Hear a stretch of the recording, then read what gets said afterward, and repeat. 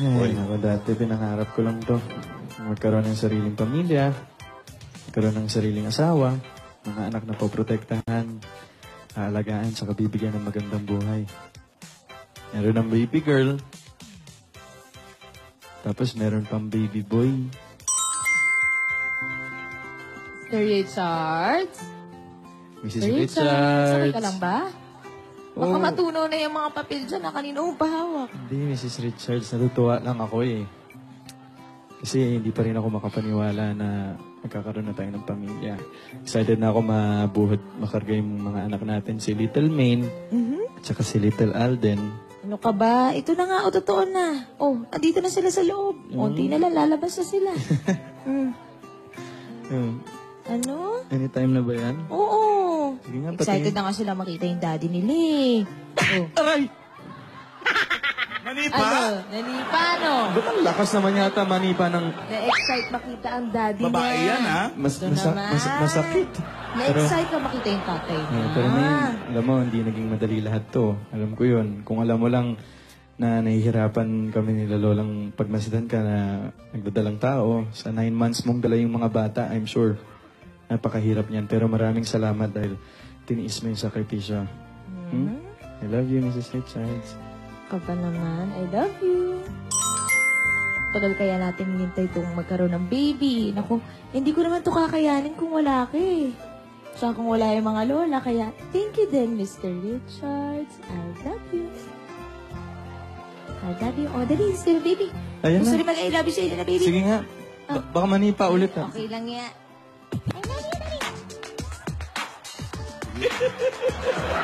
Ay! Eh, gondola pa. Gondola. Ayan, kailangan siguraduhin malinis ang mga dedehan ng bata. Tama. Na-sterilize ko na to. Ay nako, tinid, sigurado ako sa ginagawa mong yan. Naku, mahihiyang lumapit ang mga mikrobyo sa mga apo sa tuhod natin. Walang lalapit ang mikrobyo, 100%. Pati lamok, sigurado, Po, tapo. at teka lang, ay, parang naging control naman yan. Eh, di, syempre, yung mga lamok, kailangan asika ano yun natin Hoy, yan. kaya, Tidora, yes. Opo. marami ka bang alam tungkol sa pag, mga pagpapadede, Ay, ganyan? naku, opo. Ha? Opo. Yung mga inverted nipple, alam niyo yan? Alam po natin yan. Alam niyo sa Tagalog yung inverted nipple? Nakalubog yan. Ano? Kaya nga, alam niyo sa Tagalog, Ano po? utong na loob. Oo. Oo. Nakikiusap yan, ha? Oo. Tandaan nyo, ha? Utang na loob yun. O, basta yan. Ako, Hindi, naku, utong na inaayos loob. ko na yung mga damit ng baby Inverted girl, baby boy natin. Ayan, Tidora. Baka naman ikaw mamaya paglabas ng bata, make-up mo na ng make-upan. Lagyan mo ng pumada. ano ka ba? Siyempre, maghahanap ako ng makeup na pang baby. Huwag mo munang ano, yun, baka ma-irritate ang uh, Mga face. lola.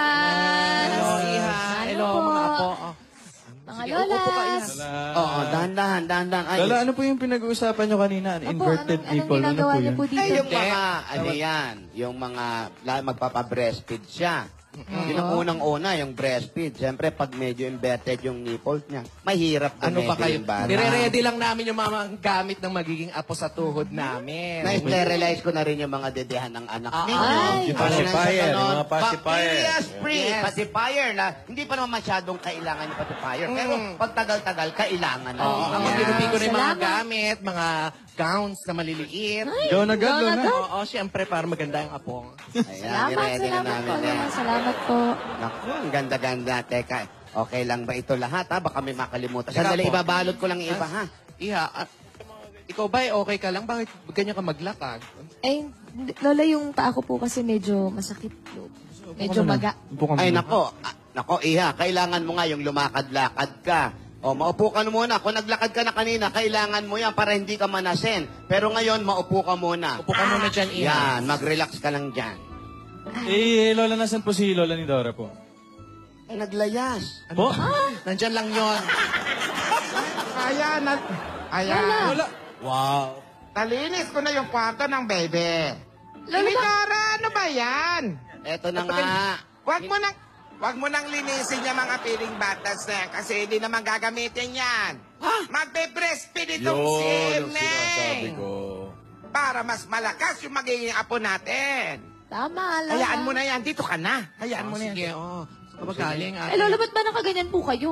Nakagasmas, ano meron? Sabi ko nga, kaya kami nakagas mask. Nag-spray kami doon sa magiging kwarto ng baby girl at baby boy. Oh.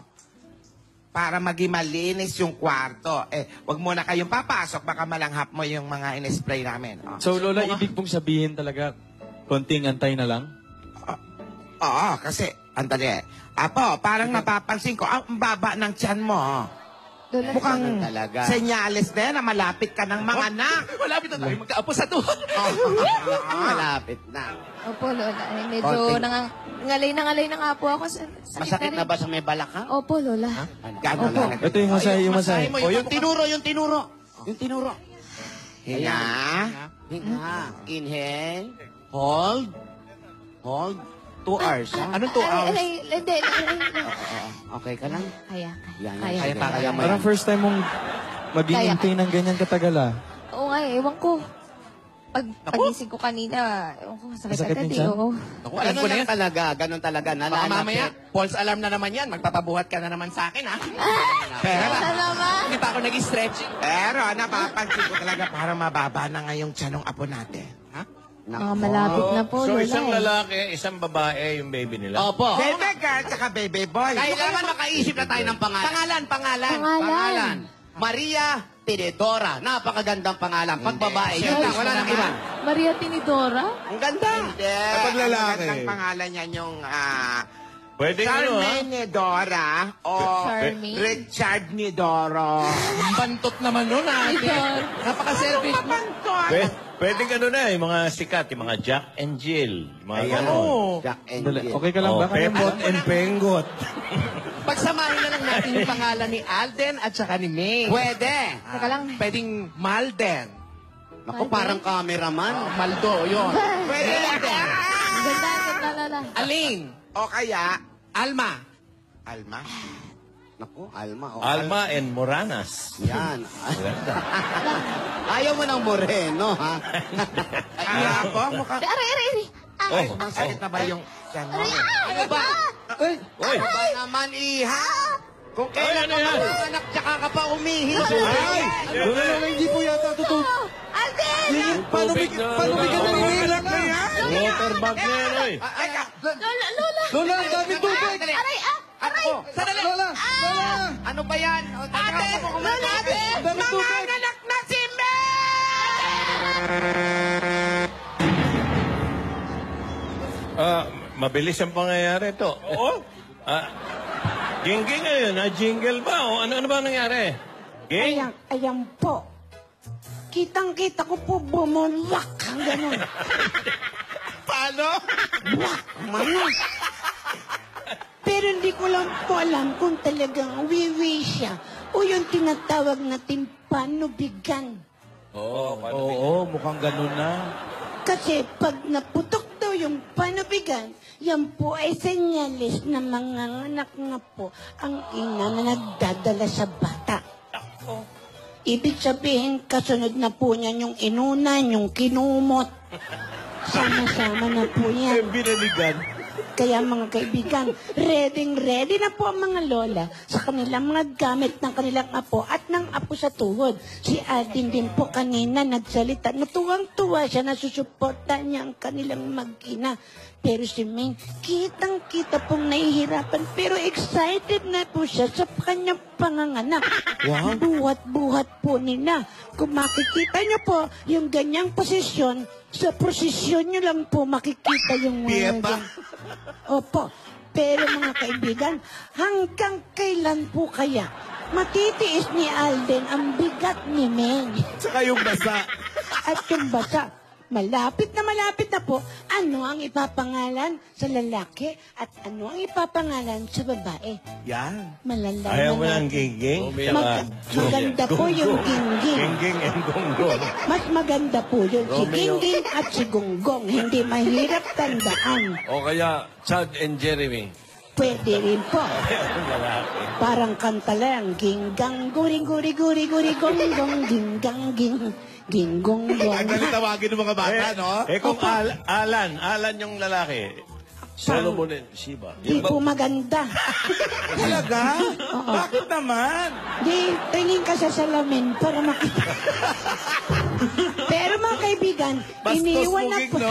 iniwan na po nila ako. Ang ibig sabihin, papunta na po sila sa ospital. Papunta na. Gusto ko rin po sumama. Abangan natin, sumama kayo sa ospital. Plan!